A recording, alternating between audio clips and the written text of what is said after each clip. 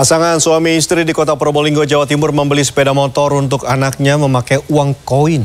Tidak tanggung-tanggung, berat uang koin pecahan seribu rupiah ini mencapai 36 kg. Bahkan untuk menghitung uangnya dibutuhkan waktu hingga 3 jam.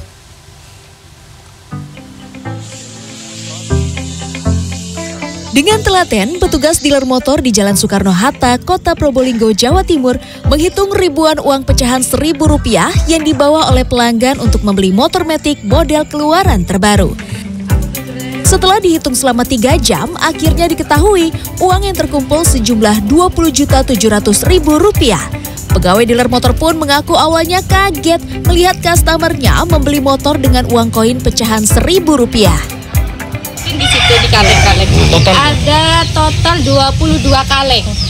Kalau uangnya Masing-masing kaleng itu 250-an, uang koinan seribuan.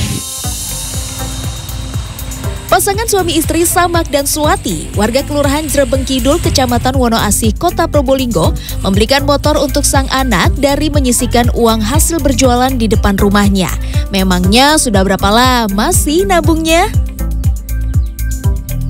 Lima tahun. Hmm, itu dari apa bu bang dari kerja apa bu? Perajangan, ini perajangannya. oh Gitu ya. Eh, senang nggak bisa akhirnya dapat Alhamdulillah senang sekali.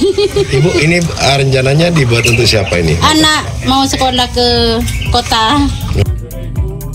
Raut bahagia pun terpancar saat Pak Sutri dan keluarganya melihat motor yang dibelinya datang. Meskipun uang receh terkadang dianggap kurang bernilai bagi sebagian orang, kegigihan dan ketelatenan menabung yang dilakukan Pak Sutri ini untuk mencapai impian patut ditiru. Tim Liputan CNN Indonesia